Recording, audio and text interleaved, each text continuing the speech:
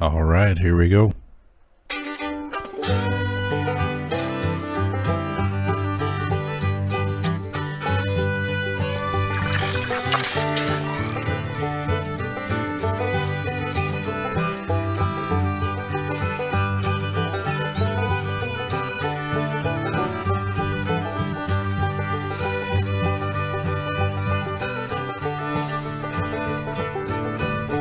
KG UV9, or excuse me, 935G, KG935G. I did so many videos on the the Wouxun Mate, it stuck in my head. My goodness. KG935G, talking about scan groups. I've never, I haven't seen anybody else talk about this stuff at all. Maybe it's out there, I don't know, but this video or this radio is uh, extremely versatile for a GMRS. So I might it might take a little bit to get through this, but I have a lot of information to share with you guys. It's going to be fun and hopefully informative.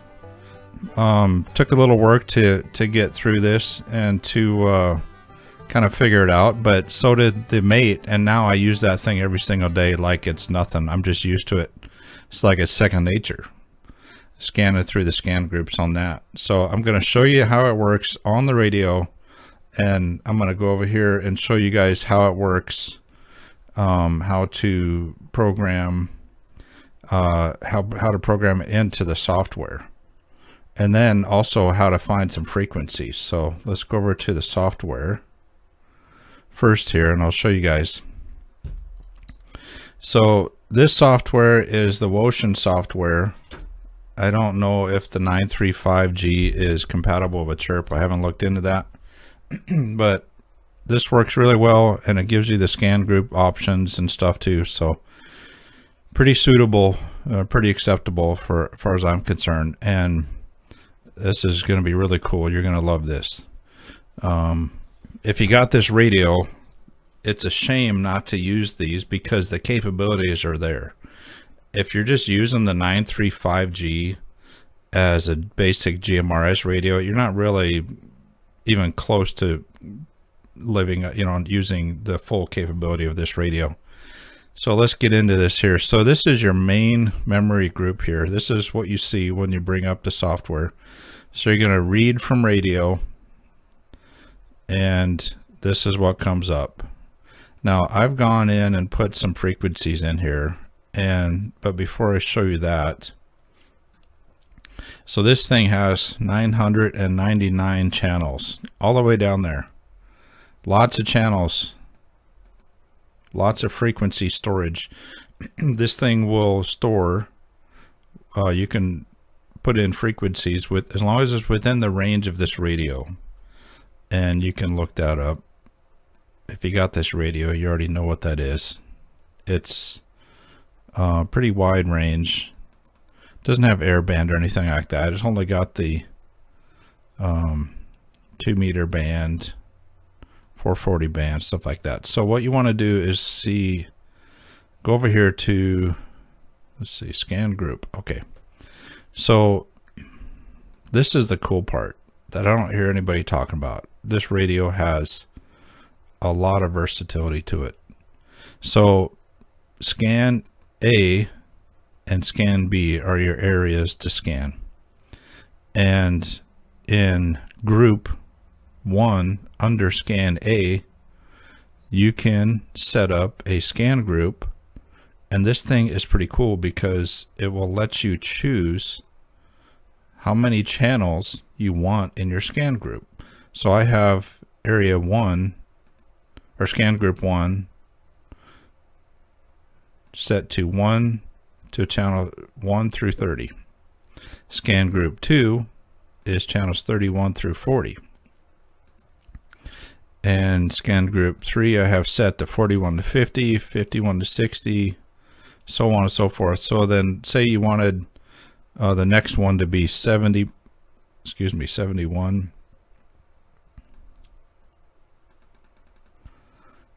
through so you had a whole bunch of channel frequencies, all the whatever.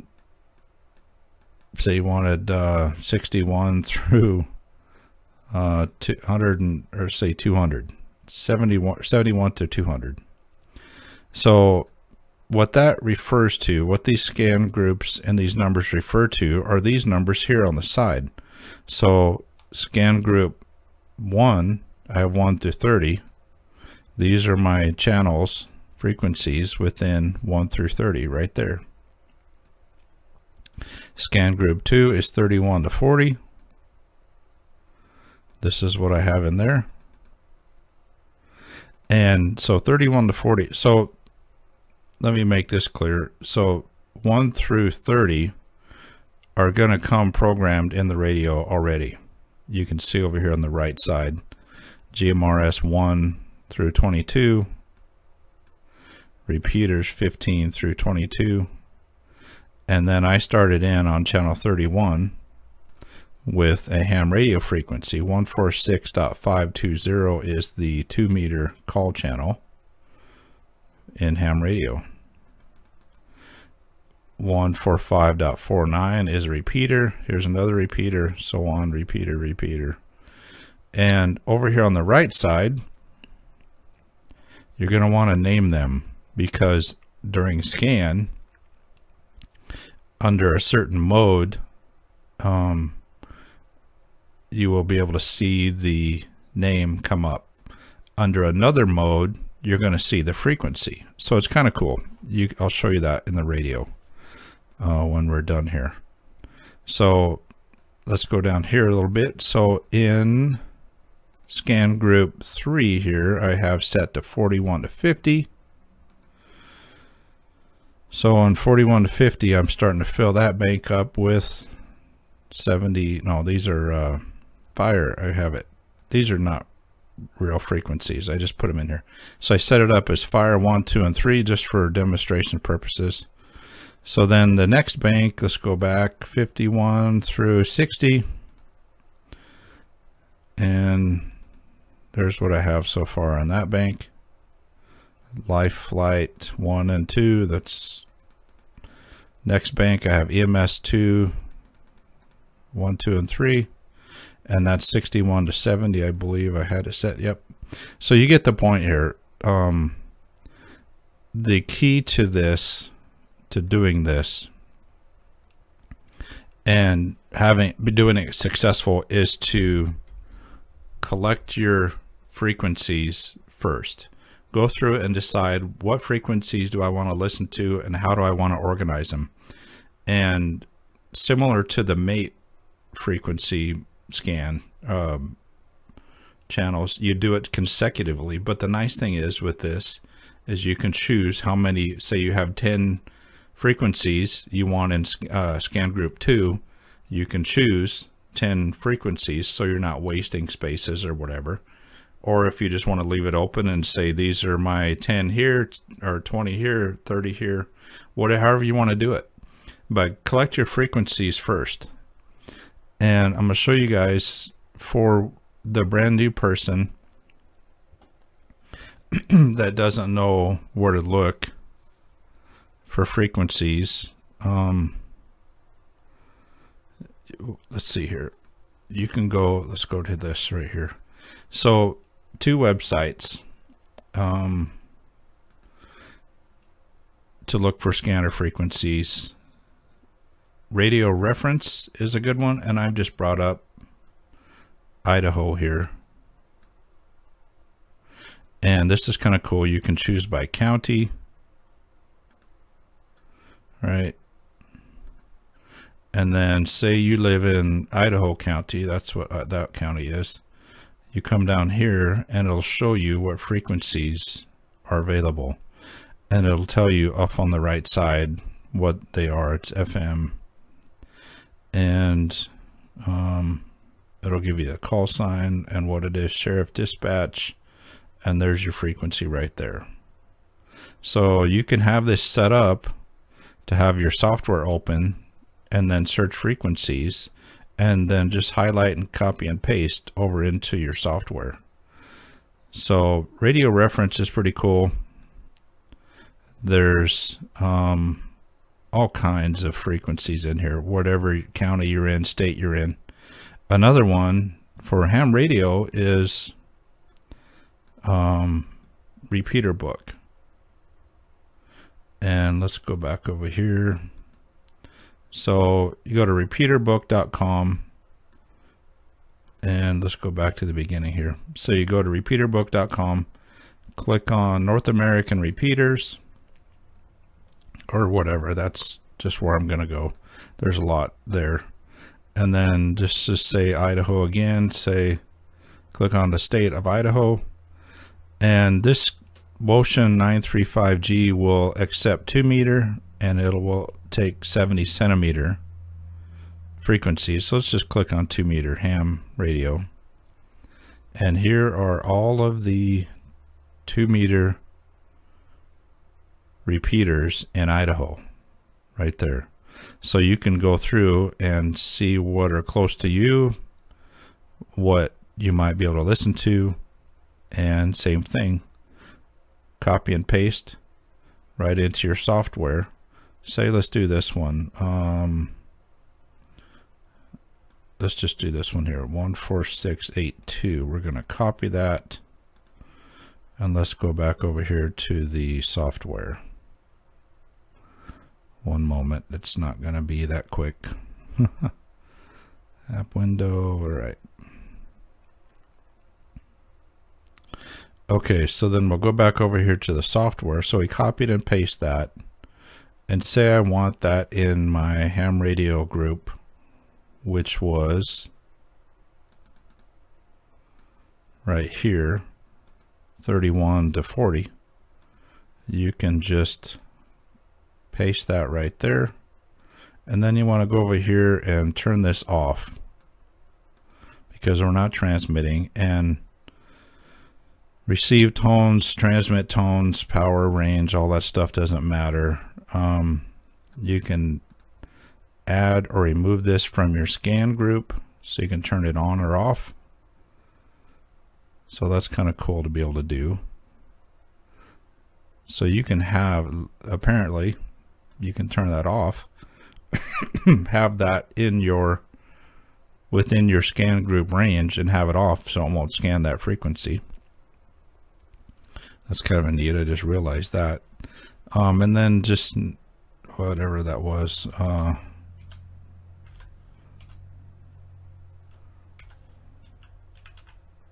po Pocatello. Okay so Pocatello repeater. So you want to put the name in and like I said in the in the radio I'll show you it'll show there's a mode where you can scan. It'll show you by name or frequency. So that was in the scan group number one there or number two 31 to 40 so I hope that makes sense you guys. But collect your frequencies and organize your frequencies and you've got a lot to choose from here on this radio. I mean 999 channels is a lot of frequencies and the sky's the limit. You just go in their radio reference um, or repeater group, or even just do a web search on scanner frequencies near me, those kind of things, and put them in there. And um, it's really kind of neat to organize them. So let's, I'm going to get this set up to where I can show you into radio. So I'll be right. Okay, so now that you have uprighted uprighted, written to radio, right to radio, uprighted. um, you know what I mean? Once you've written your software to the radio, um, you here's where you you can effectively use those frequencies in scan groups. So uh, let's see if I can do this and get focused here. My camera's being a pain. All right, there we go. All right, so what you're going to do is you're going to push menu and you're going to scroll through until you find scan groups.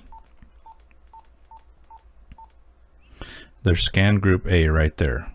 So click menu again. Scan group A will let you scan all group one, two, three, and so on. So we had uh, we had frequencies in like three or four groups. So let's just do that. So we're going to hit menu again, and then we're going to hit exit. And now you're going to hit scan.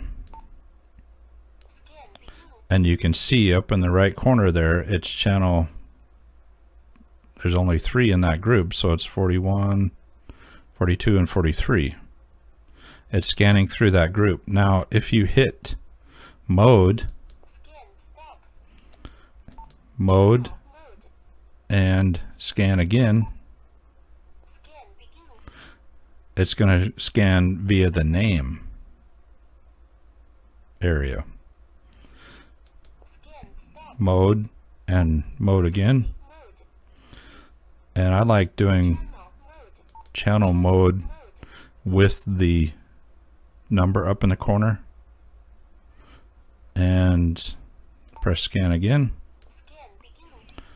and that's in frequency. You're going to see the frequency instead. So if you want to go to um, go to another group you just go to menu uh, scan group A and we'll go down to group 4 and just exit and scan press and hold. So now it's scanning 50 51 and 52 or whatever it is. 51 52 so let's try um, another one. So you guys see the point here kind of the, kind of the idea. And scan. So it's 60 through 6 61 2 and 3 and then, like I said, if you want to do the name, you push mode and then you can scan again, press and hold scan.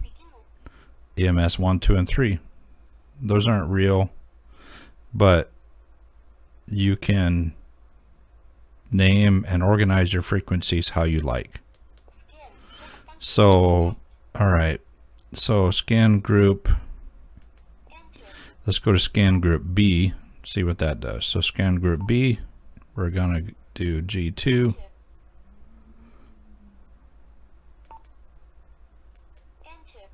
I'm going to scan. There you go.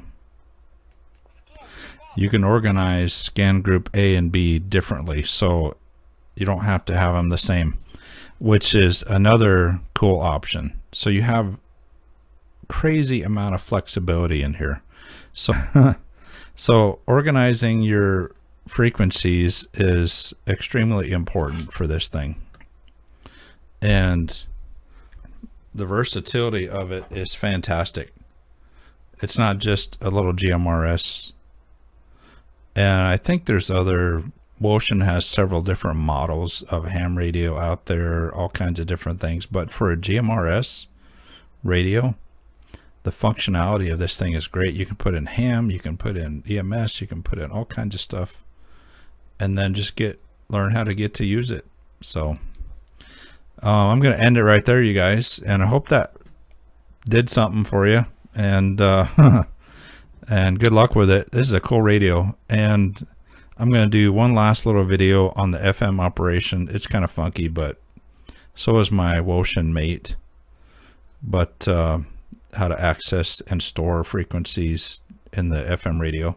You can do it in the software as well, but to get it to the front, you know, from the front of the radio is kind of funky. But like I said, once once you get to know these things, a little practice, little little time with them.